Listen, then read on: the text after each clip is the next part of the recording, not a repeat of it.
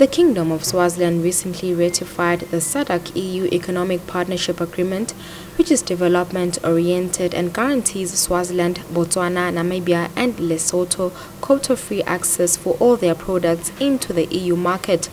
This means that Swaziland can import certain goods which are important, such as industrial parts, machinery, at a reduced rate.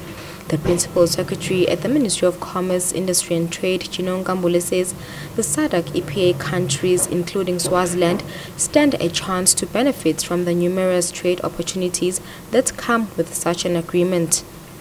tindzawo tekukhicita setitawukwati ukuthi tikhicite ngekukhululeka tati kokuthi eh leti mphahla letikhicitwako nobe timphahla tini titawukwati kuyitfola imakethe The Commissioner General at the Swaziland Revenue Authority, Dumisani Masilela, says Swazis will now enjoy importing goods at more favorable terms.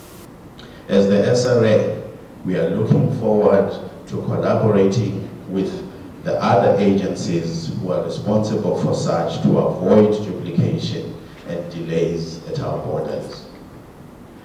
Ladies and gentlemen, the agreement has enormous potential to improve the lives of the Swazi people and those of the region by connecting them to the global economy. I therefore would like to take this opportunity to invite all stakeholders to collaborate and coordinate with the SRA to turn this opportunity into a reality. I thank you very much for listening. Reporting for Swazi TV News, I'm Lungelele Makakula with Solisani Mabuza at Zuluni.